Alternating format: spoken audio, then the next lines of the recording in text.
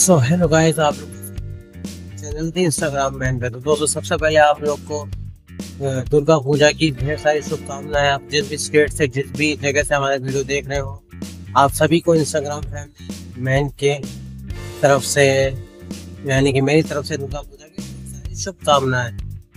तो दोस्तों, आज का व्लॉग होने वाला है बहुत ही ज़बरदस्त, क्योंकि आज छुट्टी का दिन है तो मैं सोच रहा हूँ कि आज के दिन तीन, चार, पाँच, जितने भी दुर्गा पूजा के पंडाल हो सब मैं कवर कर लूँ और आपको दिखाऊँ कि हमारे तरफ़ कैसे कैसे पूजा के पंडाल सजे हैं कैसे कैसे मतलब सेटअप हो रखा है। तो मैं सारे पंडाल दिखाऊँगा आसपास के जहाँ जहाँ के पंडाल है एक एक जगह की लोकेशन के बारे में बताऊँगा। हाँ दोस्तों वीडियो क्वालिटी अगर आपको थोड़ी सी भी कहीं कुछ कमी लगे तो उसके लिए थोड़ा सा एडजस्ट कर लीजिए। और आप लोग से कह रहे हो कि दोस्तों, पाँच सौ सब्सक्राइबर हिट करवा दिए हमारे चैनल पे तो बढ़िया नया फ़ोन भी खरीद लेंगे ताकि वीडियो रिकॉर्डिंग अच्छी आ जाए, थोड़ी ब्लडनेस थोड़ी कह सकते हैं आप हल्का सा ब्लडनेस आ रही वीडियो में।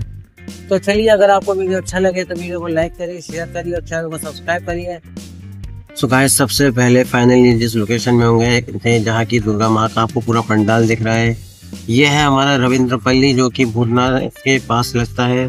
तो यहाँ की वाइब अच्छी थी, काफ़ी अच्छा माहौल था और आरती होने वाली थी। इससे पहले हम लोग गए थे तो सौभाग्य था हमारा कि आरती को भी इंजॉय किया हमने। और देख सकते काफ़ी बढ़िया डेकोरेशन था, बहुत ही मज़ेदार डेकोरेशन था। और हाँ दोस्तों दोस्तों, जैसे कि देख सकते हैं, यहाँ पर रविंद्रपल्ली में काफ़ी सारे खाने के स्टॉल लगे थे, नैनीताल मोमोज थे द व्यू हब था। और साथ साथ देख सकते हैं, यहाँ पर एक राजस्थानी फ़ूड था, जहाँ से मैंने कुछ ऑर्डर करवाया। तो चलिए, पहले हम ये सब दिखा देते कितना बढ़िया सजा था। गणेश जी का जो कटआउट लगाया गया था और एंट्रेंस बहुत ही सो so फाइनली दोस्तों मैंने ये राजस्थानी कचौड़ी ऑर्डर कर ली। कहने के लिए राजस्थानी थी लेकिन स्वाद अच्छा था। ये मूंग की दाल की थी और इसके अंदर चटनी की स्टफिंग थी और हरी चटनी लाल चटनी थी और मज़ा आ गया। तो मतलब हम्म, हम्म।